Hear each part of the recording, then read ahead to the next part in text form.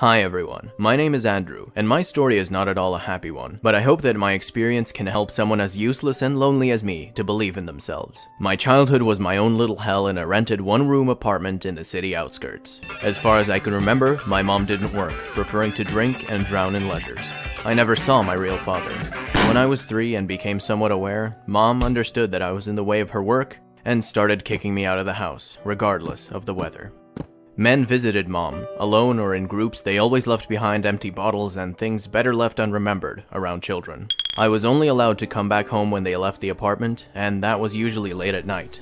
So that's how I grew up, like a weed in the garden, spending most of my time outside of the house rather than in it. I was made fun of at school, and my teacher told me I was untalented and slow. Of course, we didn't have enough money, even for food, so I wore hand-me-downs from the kinder neighbors. I didn't even have a place to study, I got by by studying in the windowsills and reading textbooks. For some reason, despite it all, I liked studying. There was a science professor of some sort in our house, and I aspired to be like him.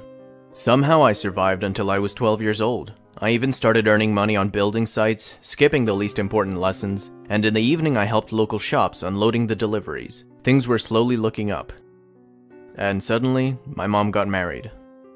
At first I thought he was a decent man, he didn't drink and taught mom to stop as well, worked at a factory somewhere, and hung out at the garage with friends in the evenings. All in all, a normal guy. I wanted to believe in this miracle. But it didn't work out.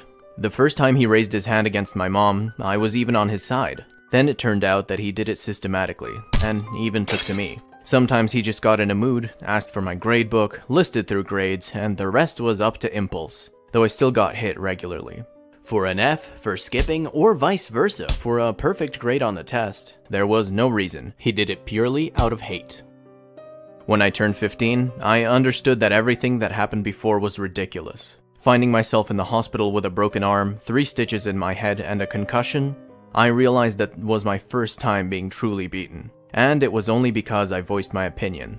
In the end, I decided to run away at the first opportunity and never look back.